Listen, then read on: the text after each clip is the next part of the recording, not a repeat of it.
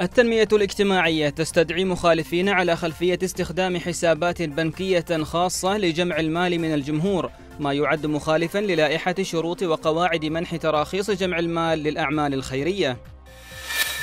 نفذ قسم الكشافة والمرشدات بتعليمية الوسطى الدورة المتقدمة لتأهيل القيادات الكشفية والإرشادية للحصول على الشارة الخشبية بمركز التدريب بالدقم والتي استمرت لمدة أسبوع كلية الخليج تشكل فريق عمل لدراسة احتياجات عالم الأعمال من الخريجين بهدف تطوير خدماتها ورفع كفاءات خريجيها لتتناسب مع تطلعات سوق العمل في ظل التحديات الحالية بالقطاع الخاص.